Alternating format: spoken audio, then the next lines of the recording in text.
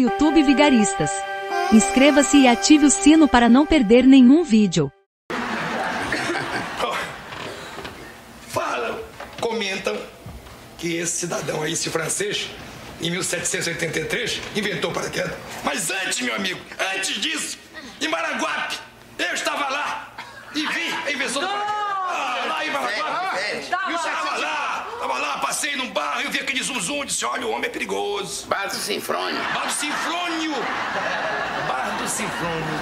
Cheguei lá, o Sinfrônio disse, não. Lembra? Lembra, pô, Bar do Sinfrônio. Esse homem é perigoso. Cabeça, quando passa aqui, os maridos se arrepiam. Era o dono das mulheres. Ele só ia nas mulherzinhas, todas elas fogosas por ele, quando os maridos saíam.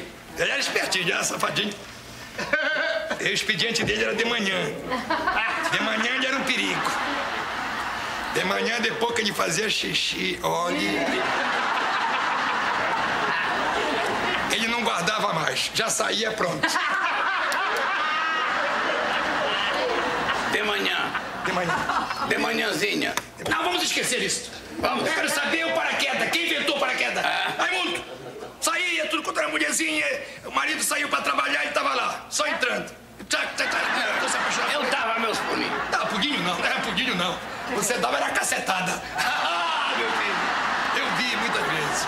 Se o seu Geraldo visse. ah, meu Deus do céu. Quando foi um dia, desafiaram ele, que ele já tinha papado tudo. Todas as mulheres. Tanto que lá em Maranguape, todo mundo é parecido com ele. Aquela cabecinha. É verdade, aquele joelho, aquele joelho de porco. Aquele pezinho, aquela canelinha, canelinha zambeta. Meio estufado. Estufado a barro. Barro ele comeu muito em criança. Talvez por isso que ele comia barro misturado com rapadura. E a. E o pai dele, Oliveira, tinha um pé de Copaíba.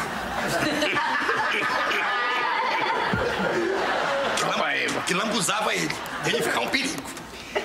Aí, mas ele tinha cisma por uma mulher que era mais famosa de lá. Aí disseram pra ele, disse, olha, Virgulino Lampião vai viajar. Ó, Virgulino não se brinca, era a mulher do Lampião. Aí, Virgulino saiu de madrugada. E aí, de manhã cedo, Nonato entrou. Maria Bonita morava no sobrado, quatro andares, era no último andar. Nonatinho subiu, aquilo tudo lá, fresquinho e tal. Não precisa dizer que a Maria Bonita se arriou, né? Mas quando ele tava na boa, já na quarta ou quinta, aí. Nossa, deu nenhum, não deu nenhum. Não, nenhum. Na quarta ou O quinta. negócio é do paraquedas tá Paraquedas. Quando eu tava aí, lá naquela, naquela coisa toda com a Maria Bonita, veio um garoto correndo e disse: Nonatinho, cabeça, cabeça. Ele meteu a cabeça. Fala a cabeça, fala cabeça. Ele meteu a cabeça e disse assim: Lampião tá chegando aí. Oh, foi aquele alvoroço, a cidade toda olhando.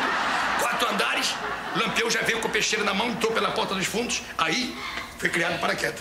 Nonato pegou o lençol da cama, amarrou nas duas olheiras, que ele tem duas olheiras.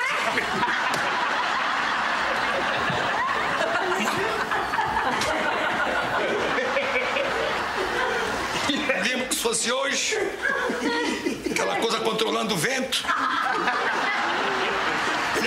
Duas pontas do lençol e se jogou. Se jogou e veio. E pronto. Acabou. Daí, imitaram e inventaram o paraquedas. Cadê minha nota? Não quer mais. Cadê minha nota aí? Olha, o paraquedas de lençol não foi uma, uma ideia ruim, não. Merece um 7. Agora, essa orelha. Essa orelha vai. Essa orelha eu não posso nem reclamar, vai ficar o 7 mesmo. Assista os vídeos sugeridos em nossas playlists.